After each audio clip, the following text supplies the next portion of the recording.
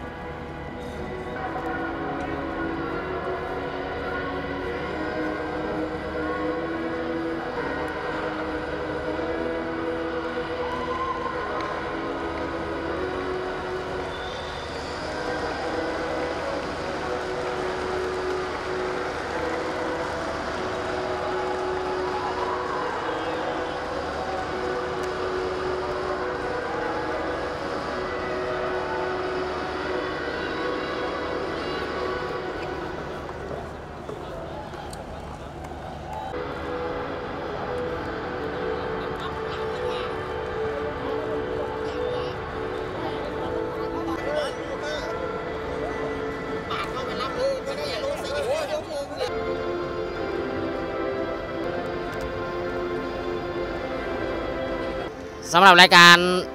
ผัด4คูณ100 เมตรนะครับสำหรับทีมวิวแชร์เลสซิ่งทีมชาติไทยก็ถือว่า ประสบความสำเร็จครับ เพราะว่าเนื่องจากเราไม่ได้มีการฝึกซ้อมกันนะครับ ก็ทำเต็มที่ครับผม ก็ขอบคุณคนพี่น้องชาวไทยนะครับ ที่ส่งกำลังแรงใจแรงใจให้กับทัพนักกีฬาคนพิการ สู้ศึกอาเซียนพาราเกมนะครับ ขอบคุณครับ